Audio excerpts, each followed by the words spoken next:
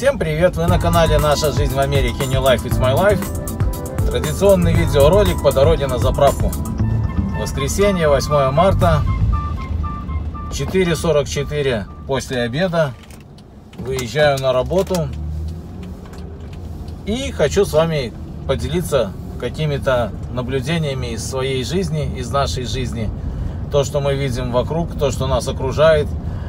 И продолжим через минуту. Сейчас вы должны буквально мгновенно подписаться, поставить лайк этому ролику, поставить колокольчик, чтобы не пропустить следующий. И, в общем, так как у нас сегодня 8 марта, хоть у вас уже и 9, а смотрите вы уже, наверное, и 12, там, 15, не знаю какое, тем не менее, всех еще раз, всех женщин с 8 марта, с этим теплым, солнечным, весенним, международным женским днем. Желаю вам всем здоровья, любви, счастья, хорошего настроения и всех-всех благ и всего того, что вы сами себе можете пожелать. Желаю я, и к моим желаниям присоединяется вся моя семья. Вот. Что хочу, что могу сказать про этот праздник в Америке? В Америке такого праздника нет. В Америке есть День мамы. Э, вместо 23 февраля есть День папы. Есть День э, ветерана. Вот, такой типа, который на 23 февраля похож. Поэтому как-то вот так. Его здесь особо никто не празднует, кроме, наверное, э, лиц с постсоветского пространства. Вот, ну, собственно, ролик совсем не об этом. Как я сказал, э, хочется поделиться тем, что мы видим вокруг. Есть такое выражение «не судите и не судимы будете». Вот, и, значит, я в этом ролике не хочу кого-то судить, осуждать, обговаривать, оговаривать. Э, я просто, ну, порассуждать на тему увиденного хочу. Э, рассказать то, что я вижу, то, что я думаю об этом, как, например, мое мнение э, в связи с какими-то факторами меняется, с какими-то вещами, которые я новые узнаю. Вот. И, в общем, каждый делает свою жизнь так, как он считает нужным и проживает ее. И делает те вещи, которые делает, которые хочет делать. Каждый делает свой выбор кому-то кажется странным то, что делаем там, например, ну, мы, когда я говорю там, например, наша семья или еще кого вы смотрите в интернете, или тот, кто пишет комментарии, кто-то думает, вот он неправильно пишет, а кто-то думает, что правильно. Картинка изменилась, извините, на телефон, когда пишешь, из-за того, что солнце попадает на него так или иначе, вот, он стоит в таком месте, что освещенность меняется, и оказывается, надо иногда пальчиком экран трогать. Так вот, то есть у нас у всех есть свое мнение, мы вправе его выражать, э, кто-то вправе его обсуждать, ну, осуждать уже, наверное, не стоит. Ну, так вот, значит, э, вчера я, как обычно, работал, первый заказ я получил вот здесь, вот буквально, где сейчас проезжаю, Делама Fashion Center. Это такой очень большой на три остановки э, в понятии, например, Минска возьмем, да, по площади торговый центр, куча бутиков, ресторанчиков, забегаловок, каких-то харчевень, вот магазин книжный, спортзалы, все что угодно. Приходит мне заказ, я подъезжаю, забираю молодую семью. Э, не буду называть ни национальность, ни цвет кожи, ничего такого, чтобы не было лишних поводов, так сказать, говорить, что кто-то кого-то осуждает, рассуждает. Вот, просто молодая семья. Папа, мама, э, два ребенка, не помню даже, мальчики или девочки, лет где-то, наверное, от 3 до 5. Одна девочка уже, наверное, где-то 12, может быть, 14, повзрослее. И кроха маленькая, вот такая вот э, в переносочке, э, называется здесь корсит. Даже не такое вот, в котором сидит, например, Сашка наш, а прямо вот э, младенец, он лежит в нем, такая маленькая переносочка совсем. Вот. Значит, садятся они в машину, в багажник грузим кучу пакетов, ну, будем говорить так, брендовых, то есть э, видно, что они покупали их в дорогих магазинах, э, потому что все пакеты с логотипами, все такие пакеты, ну, если кто-то когда-то покупал там, например, дорогую обувь, там какую-то э, цивильную, спортивную, там косметику, все это идет в определенных таких сумочках и пакетиках. Вот, загрузили, значит, багажник этих пакетов, то есть видно, что люди пришли в этот торговый центр и слили определенное количество баблища. Причем, судя по пакетам, до этого у них был просто пакет баблища или хорошая карточка, и все это они вот слили. Все, садимся, едем, э, адрес уже известен, едем мы в Лонг-Бич, э, где-то расстояние порядка 20 миль, это ну, такое приличное расстояние. И они заказывают Excel, потому что у них э, получается 6 человек. И каждый человек в машине должен по правилам быть пристегнут ремнем. Э, тот же карсит должен быть пристегнут ремнем. Поэтому у них вариантов сесть в машину меньшего размера нет. Это я к чему говорю? Что эти 20 миль автоматически превращаются в 30 на старте. А уже как э, идет расход времени и прочее, прочее, повышающие коэффициенты, то цена, соответственно, возрастает. То есть большая семья, большие расходы. Ну все, едем, там ребенок этот иногда хнычет, мама его иногда успокаивает, в общем, все нормально, все путем. Едем, едем, едем. И тут такая маленькая заставочка. В Америке очень много есть э, различного рода мотелей. То есть это такие э, небольшие гостиницы, э, в которых... Э, как это вам лучше сказать? Мы тоже начинали свой жизненный путь в Америке с этого мотеля, с такого, вернее, мотеля. А, номера в них стоят, например, скажем так, а, условно говоря, от 60 долларов и выше, ну, может быть, до 100, до 120, все зависит от мотельчика, от этого. Там э, в номере, значит, у вас будет холодильник, у вас будет микроволновка, само собой, ванна, туалет, душевая. Ну и номера мы мы начинали свой путь э, в одноместном номере, то есть там стояла двухспальная кровать. Вот. И платили мы за него, по-моему, 79 долларов.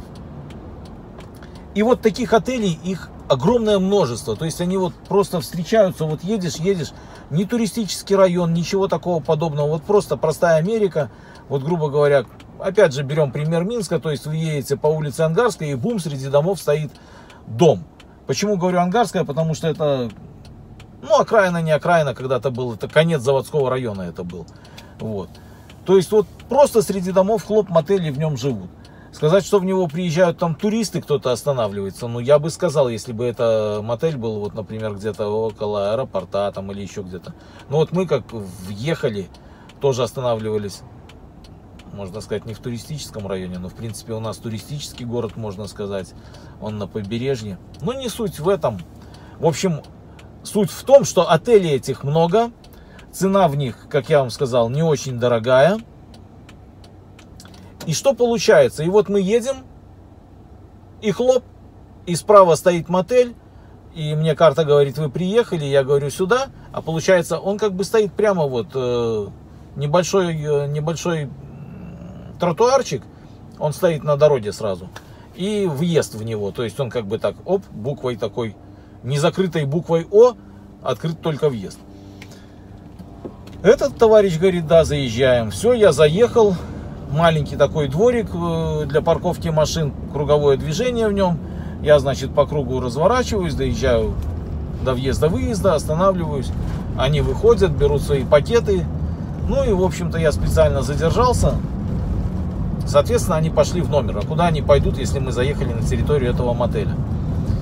И судя потому какие стояли машины во дворе, ну по машинам тоже опять же судить нельзя. Как я сказал, что все, что видишь в Америке, нельзя воспринимать за чистую монету, потому что никогда ты не поймешь, в этой дорогой машине едет миллионер или какой-то ну, человек, который живет от зарплаты до зарплаты.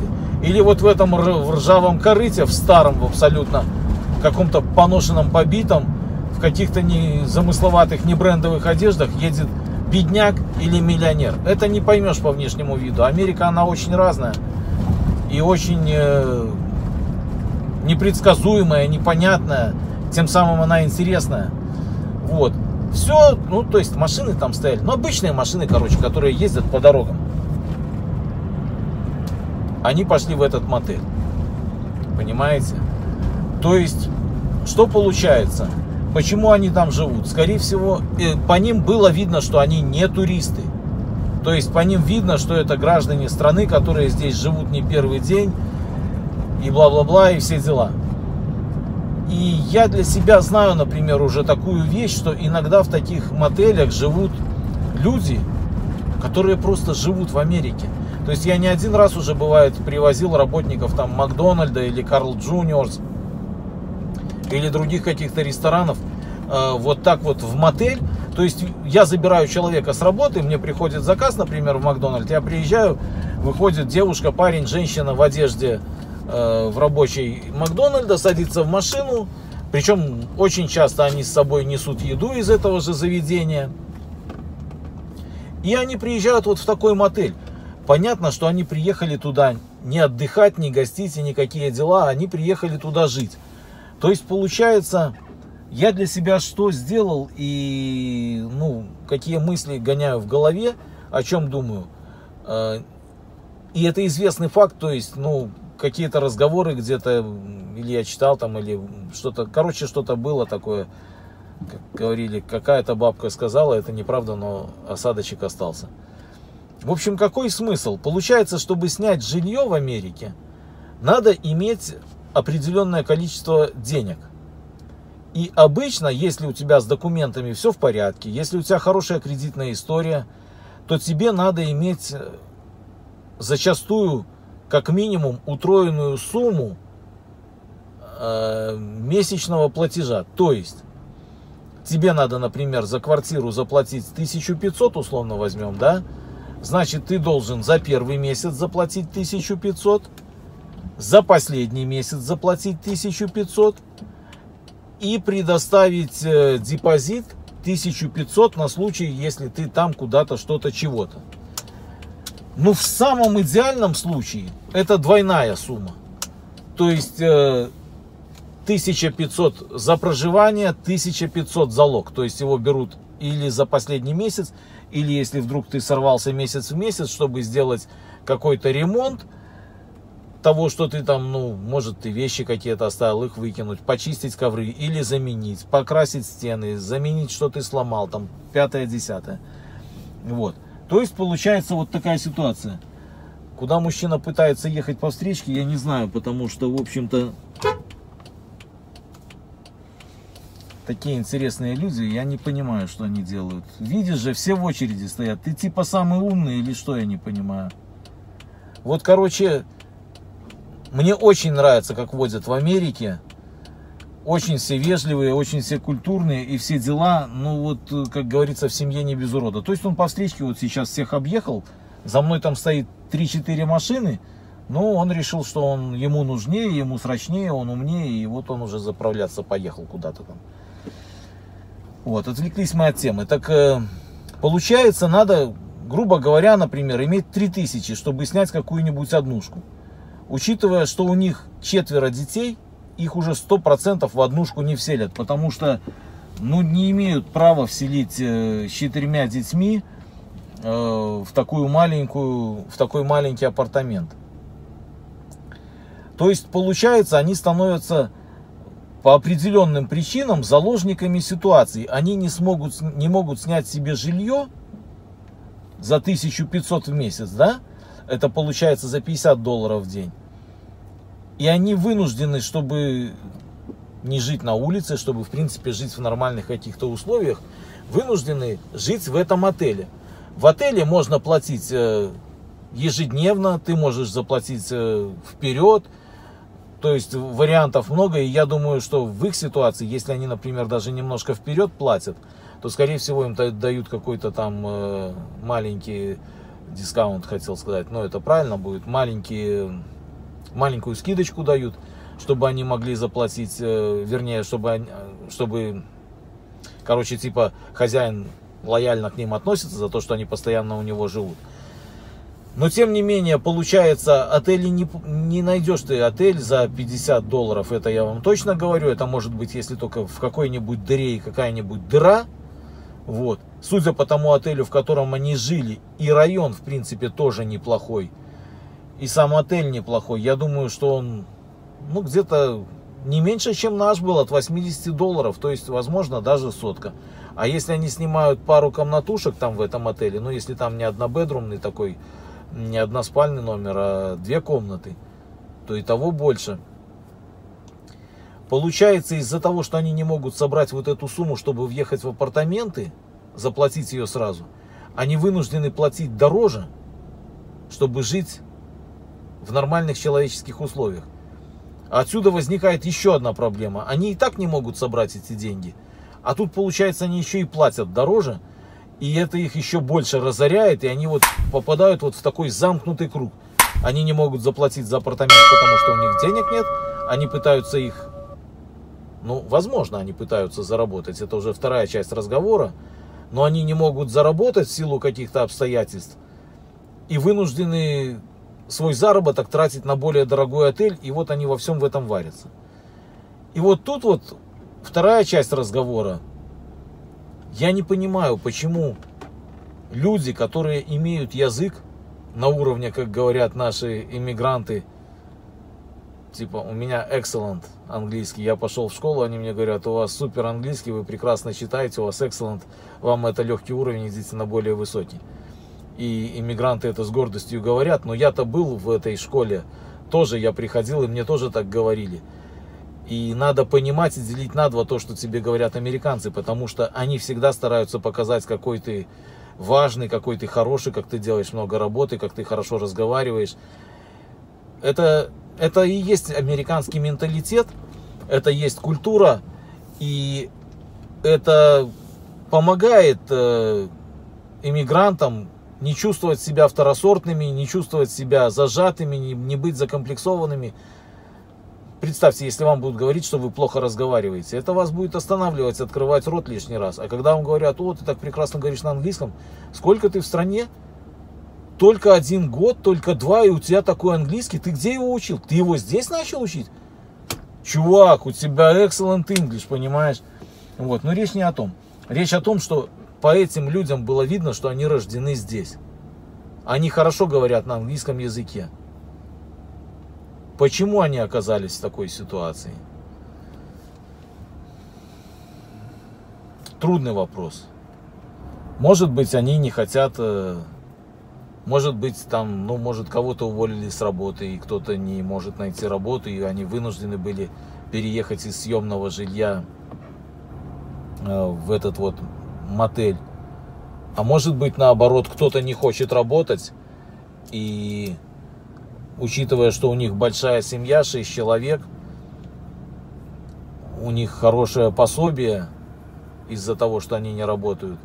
И, возможно, они просто не работают, а живут на пособие, чтобы не работать и вот так вот э, влачат такое существование. То есть, ну вот непонятно. Просто когда смотришь, люди одеваются, обуваются в очень дорогом центре –